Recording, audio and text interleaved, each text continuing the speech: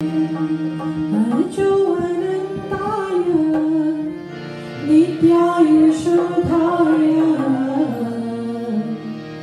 三七大人难难，不如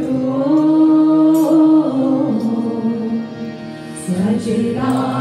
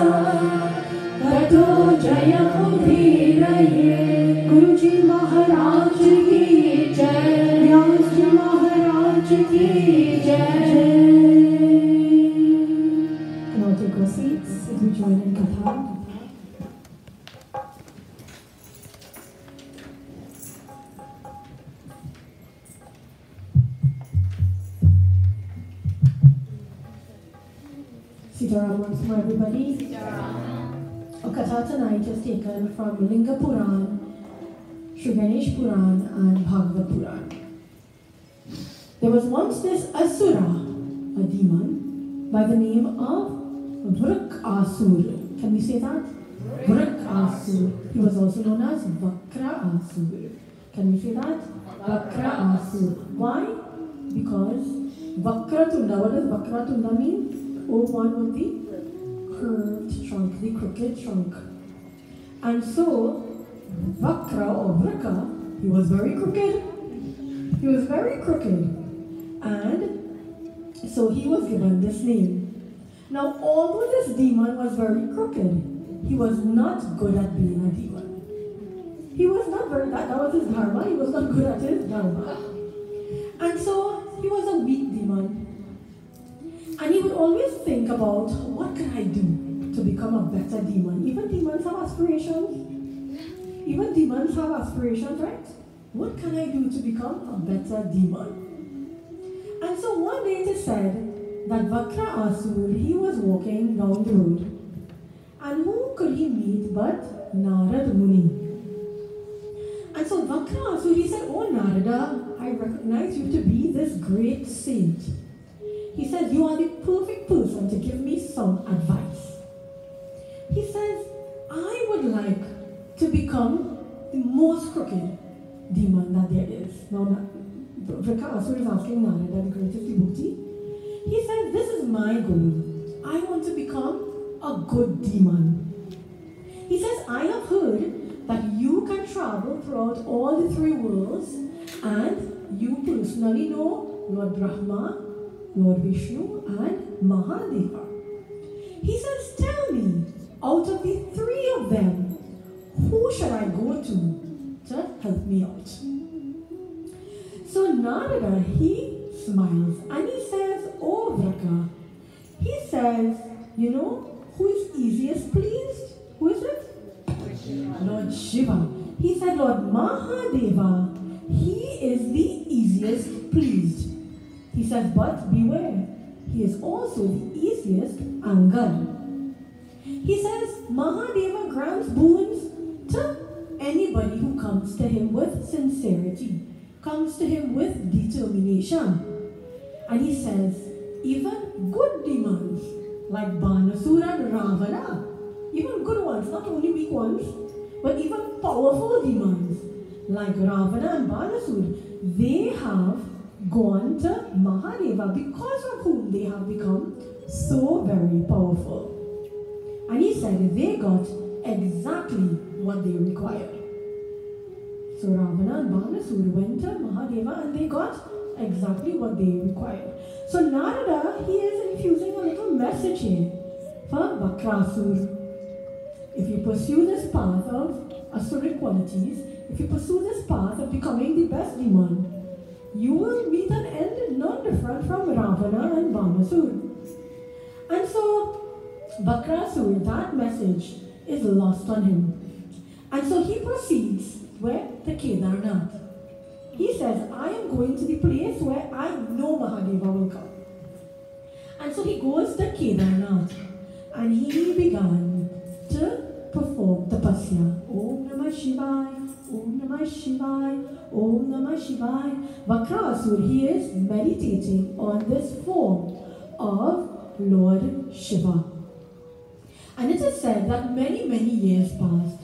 100 years passed, 500 years passed. And Vakrasur is wondering, is Lord Shiva not pleased with my devotion? And so he starts to intensify this tapasya. He starts to intensify it until after 1,000 years have passed, Lord Shiva, he appears. And Lord Shiva, he looks at Vakrasur and he says, My child, Lord Shiva is looking at this demon who wants to be the greatest. And he says, My child, why? Lord Shiva Bhagavan, he accepts everybody. He accepts the prayers of everyone. So he says, My child, what do you want? So Vakrasur, he says, Oh Mahadeva, I want immortality. The demon thing to do is to ask for immortality. And so he says, Oh Lord, I wish for immortality. Imagine meditating for 1,000 years and Mahadeva finally appears. What will you ask for? When Bhagavan appeared in front of Nandi, Nandi said, I forget everything that I want. I only want you. When Bhagavan appeared in front of Dhruva, Dhruva said, I forget everything. All I want is you. When Bhagavan appeared in front of Prahlad, did Prahlad said? Lord, why are you asking me to ask for something? You're trying to trick me? All I want is you. But this demon, this is the difference between a devotee and an asura. This demon, he is very intent on what he wants. And so he says, I wish for immortality. And so Bhagavan Shiva, what does he say? Cannot give you immortality. Why? For anyone who has been born, they must die. Ask for something else. Whatever else you wish for, I will give this to you. And so Vakrasur, he thinks, and he says, Aha, I know what it is I want.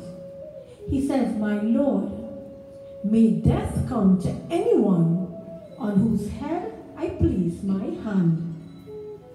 May death come to anyone on whose head I place my hand. May they be burnt to ashes.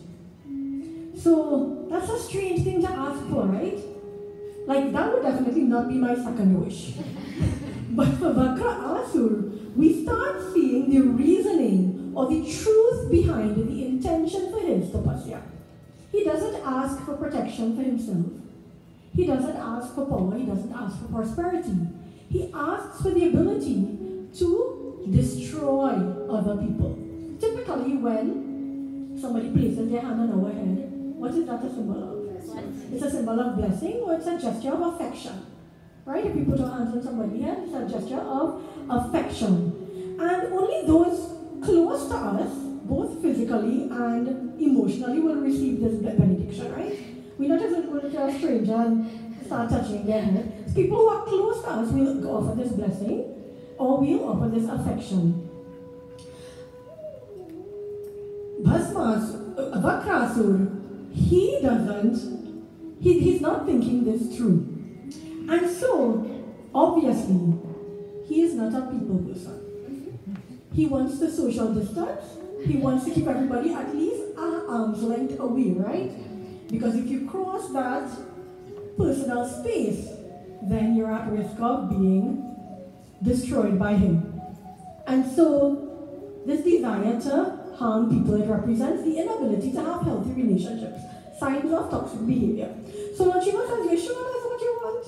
Like a thousand years you did tapasya and dust. You sure that's what you're asking for? And so he says, absolutely Lord, that is what I want. And so Lord Shiva, he says that I ask you, so be it. And from today onwards, you will now be known as Bhasmasur. Many of us have heard this katha before. You will be known as Bhasmasur. Bhasma meaning ashes, and Asura is a demon. Bhasmasur can have two meanings. The first is the demon who can turn something into ashes, or the demon of ashes. Two meanings, right? So Bhasmasur, he is very, very happy that Lord Shiva has given him this very unique gift, Also, he thinks. This very, very unique gift. And he becomes intoxicated with his newfound power. He now thinks, look at me. Look at how much power I have in my hands, literally. Literally, I have this power in my hands. I can turn any being into ashes. Now, all beings will fear me. I will become the most powerful being ever. And so he starts to think in this way. He looks at Bhagavan Shiva and he starts to laugh. Ha ha ha. You know these demons laugh, right? He starts to laugh because a light bulb has gone off in his head. He is thinking, if I can turn Shiva into ashes, then there is nobody who can compete with me. Now Bhasmasur has forgotten that he has gotten his power from Lord Shiva. He has forgotten that Lord Shiva is the source of his power. Now if we cut our power at its source, what is going to happen? We will be in darkness. We will lose our power. But when the ego gets so big, we lose good sense. And this is, this is what is happening with Bhasmasur. His ego is becoming so big with the potential of his power that he has forgotten who is the source of his power. And so he looks at Bhagavan Shiva he starts to laugh. And Bhagavan Shiva, he immediately knows what Bhasma Asur's intentions are. And he begins to run. He begins to run. And Bhasma Asur, he begins to chase Lord Shiva with his hands outstretched with the intention of placing his hand on Bhagavan Shiva's head. The entire world is trying to touch Bhagavan's feet. But this ego-ridden demon wants to touch Bhagavan's head in his arrogance. So Bhagavan Shiva, he begins to run. Now the question is, why does Bhagavan Shiva run? Why does he run? Many times when we times when we hear this katha, we hear Bhagavan Shiva becomes afraid. And so because of that, now he is fear, he is afraid for his safety. And he begins to run. Does Bhagavan Shiva get scared? Bhagavan Shiva is Advitiya, one without a second, Akal, beyond time, Nirabhaya, without fear. Bhaya is fear, Nirabhaya. He's Nirabhaya without fear. Can anybody make him afraid? Bhagavan Shiva just has to open his third eye and he will burn Bhasmasura to ashes. He doesn't, Bhasmasur has not asked for protection, remember? He has asked just for this ability to hurt others. So Bhagavan Shiva, he's done it before. He can open his third eye just like he did with Kama, Manmatha, and he can burn him to ashes. He doesn't even have to go arm's length to Bhasmasur. So why would Lord Shiva be afraid of him? And so Lord Shiva, he is running. The question is why? In our Puranas, there are two famous leelas of the Lord running, being pursued by a jiva, or an embodied soul. Two examples. The first is Bhasmasur chasing Bhagavan Shiva. The second is who? One day Maiya Yashoda is sitting churning butter. And as she is churning butter, you know, a lot of times in our Puranas, this idea of churning, churning butter, churning the ocean, it represents the mind. This mind that is constantly churning. There's constant thoughts going through our mind. Right now we're sitting here, but our mind probably is at home. Or our mind is with somebody else, or it's not here. This mind is constantly tuning. And Maiya Yashoda, she is sitting and she is tuning this butter. And little Lala Bhagavan Krishna, who is two years old, he is looking at his mother and he is saying, But look at this lady. This lady performed so many years of tapasya to have me come as her son. And I am right here. And she is chilling butter. She is supposed to be paying attention to me. So he goes up to her and he sits on her lap. And he says, Ma, I am hungry. Bhagavan Krishna's intention is to capture the attention of his devotee, to capture the attention of his mother. And so Maheshwar said, Okay, Krishna, just now, and she continues churning this butter. And Bhagavan says, No, no, Maiya. And you know, sometimes when little children sit on our lap and they want attention, they will pull our face so that we look at them. And so he does that. He pulls Maiya Yashoda says, No, Maiya, no, I'm hungry. So Maiya she says, Okay, Lala. She gathers him up in her arms and she goes and she sits below a tree and she begins to nurse him. And so Bhagavan Krishna, he is very happy because now he has his mother's complete attention.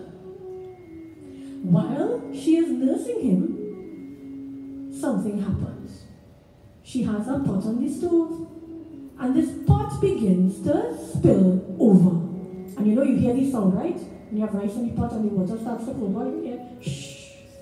So she starts to hear the sound of her pot spilling over.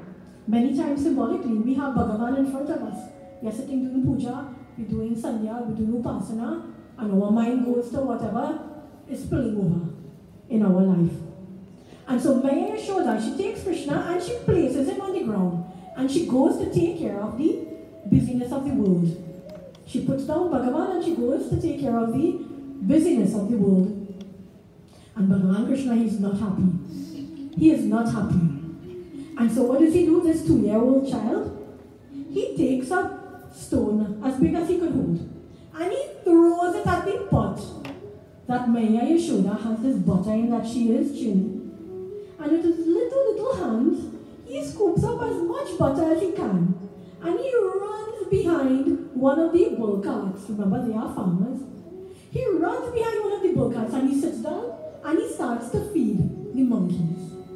He starts to feed the monkeys. Beautiful Leela of Bhagavan Krishna. Maiya Yashoda, she eventually comes outside and she sees thi- this mess. The broken pot, the butter scattered, and she begins to watch as little footsteps of butter are leading her to this tree. And she says, Oh, I know, my Lala has done this. And so she smiles because how can you not? The beauty of the natkhat Bhagavan Krishna. She smiles, but she goes because she knows that she must discipline little Krishna. And so we know the beautiful Damodar where Maiya Yashoda, she reaches upon Bhagavan Krishna and she says, Lala, have you broken my pot? No, Maiya, I didn't break your pot. Lala, who broke my pot? Maiya, look at my hands. My hands so small, I can't break your pot. And so we know the beautiful Leela. Maiya Yashoda begins to chase little Krishna. This is the second, or maybe for me it's the primary, famous Leela of a Jiva, Maiya Yashoda, chasing Bhagavan. Chasing after him literally. And Bhagavan Krishna, he starts to run. And he, because he is tiny, he's dashing in and out between the wheels of the bull cart. He is going under things, he's going above things. And Maiya Yashoda, in her old age, remember Krishna came to Maiya in her old age. She is having a difficult time catching up with this little baby.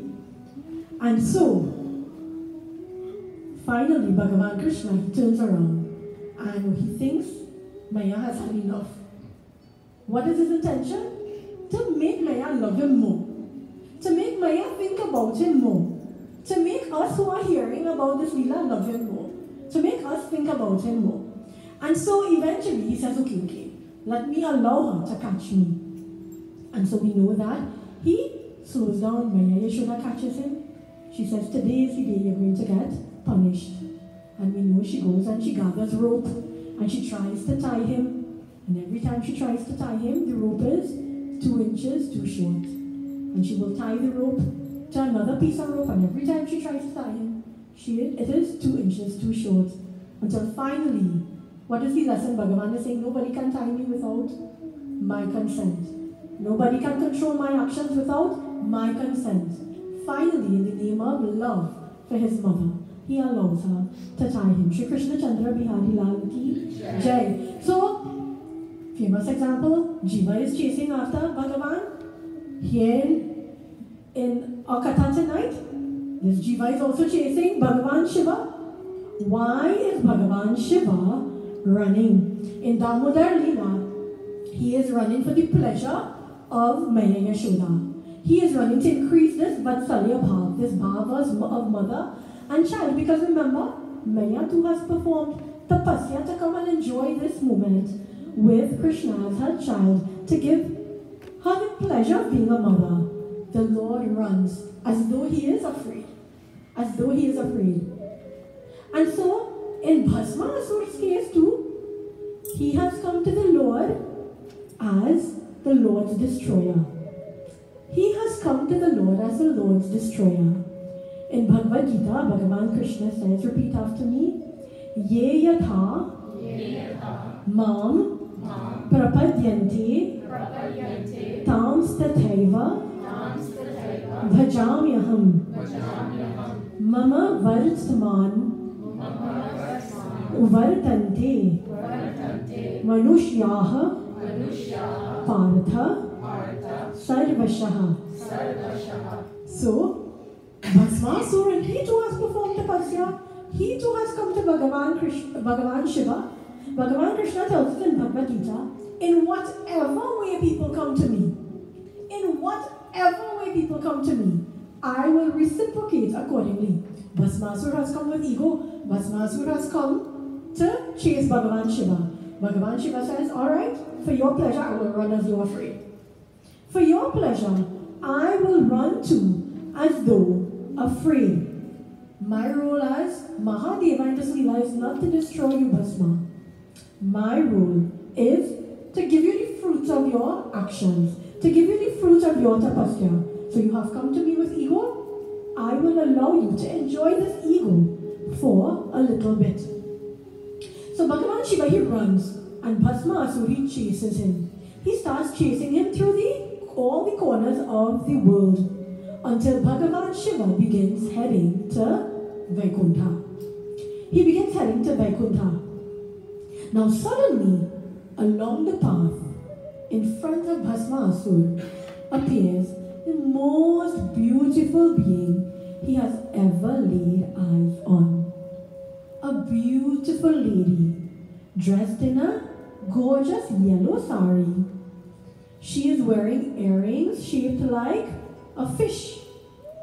Around her neck is a garland of forest flowers. She is perfectly bent in three places.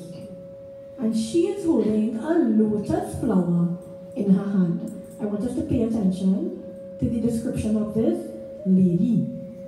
She is dressed in a gorgeous yellow sari. Who wears yellow? Pitambara, Lord Krishna. She is wearing earrings shaped like a fish. Who wears earrings shaped like a fish? Lord Hari. Why does he wear earrings shaped like a fish? To represent Matsya Avatar.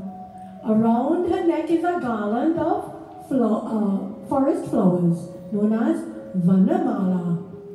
Who is Vanamala? Bhagavan Hari, Lord Vishnu. She is perfectly bent in three places. Three, three Bhanga. Who is called Three Bhanga? Lord Krishna. And in her hands, she is wearing a. Oh, she is holding a lotus flower. Who holds a lotus flower? Bhagavan Vishnu. भजो केशवाण्डला भजो केशवा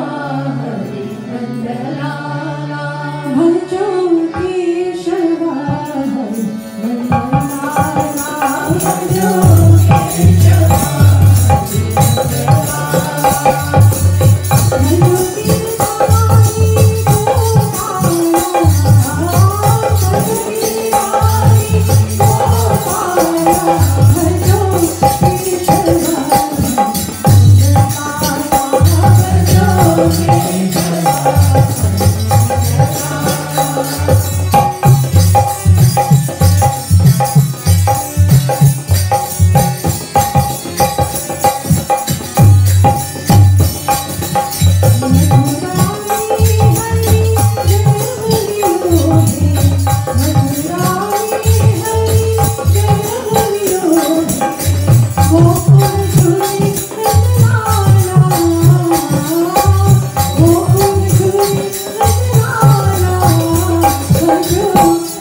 所有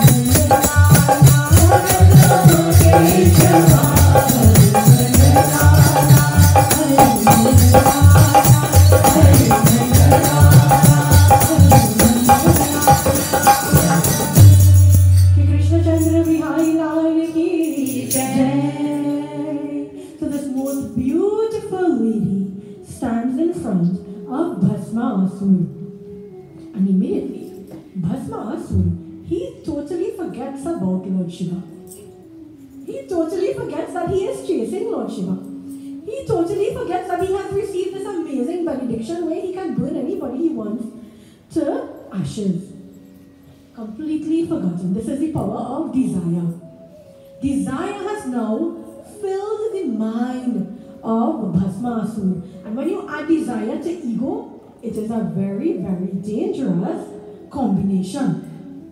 So Bhasmasur, Lord Shiva cuts through it and he goes, he goes, he goes, Bhasmasur, he goes to this lady and he says, Oh, princess, who are you? You are the most beautiful maiden I have ever seen. You must be my bride. And so this maiden, whose name is Mohini, she smiles and she says, Oh, handsome Asura. Oh, handsome Asura. Now, when our ego is growing, so remember, Bhagavan Shiva, he runs away from Bhasmasur. Why? To increase his ego. You want to have an ego? Go ahead. Whatever we want, Bhagavan will give to us. You want to grow your ego? Okay, fix up. Mohini. She is also feeding the flames. Oh, handsome Asura. You certainly seem like a powerful god. Tell me, can you dance? So Bhasmasur is confused by this question. I just asked you to be my bride. You asking me if I can dance? Donald, did Nicole ask you that when you proposed? Let me find out first if you can dance and then I'll answer the question. so Bhasmasur is confused. He says, dance? So Mohini, she says, yes, I love to dance. I love to dance. And she says, I have taken a vow. I have made a sankalp that I will only marry somebody who can dance as well as I can. You have to see a dance off later, right? I can only marry someone who can dance as well as I am. So Bhasmasur, he said, yes, I am a great dancer. I am a dancer so great, unlike the world has ever seen before. I am the greatest dancer. So Mohini says, oh really? She says, well, let me see your moves. Let me see your moves. And let me see if you can match my moves. And if you can do so, then I will be your bride. If you can do so, then I will be your bride. So Mohini starts to dance, she starts to do some cut up moves, Bhasmasura is following. Everything she's doing, he is following. And so she is dancing, she's doing this pretty light bulb move. He is doing it. Everything Bas, uh, Mohini is doing. Bhasmasur, he is becoming more and more intoxicated because he is looking at this Tribhanga form, this beautiful form bent perfectly in three places, performing all of these beautiful movements. And his desire is increasing, and he is becoming totally intoxicated. No longer is there any sense of judgment. No longer is there any sense of common sense. All he knows is that he must dance exactly as Mohini does so that he can win her to be his bride. And so Mohini, she continues dancing and cluelessly Bhasmasur, he is following. Until Mohini, she takes her hand and she places it on top of her head. And without thinking, Bhasmasur, he takes his hand and he places it on top of his head, allowing his desire to overcome good sense. And instantly is said that his head is shattered as though struck by lightning, and he burns into ashes. Now Mohini, assuming her original form as Lord Hari, she calls Mahadeva. She says, Oh Mahadeva, my Lord, how wicked this man has been. And listen to what she says. How wicked this man has been, killed by his own sinful reactions. A lot of times we like to say, well, Bhagavan tricked Bhasmasur, and that is why he died.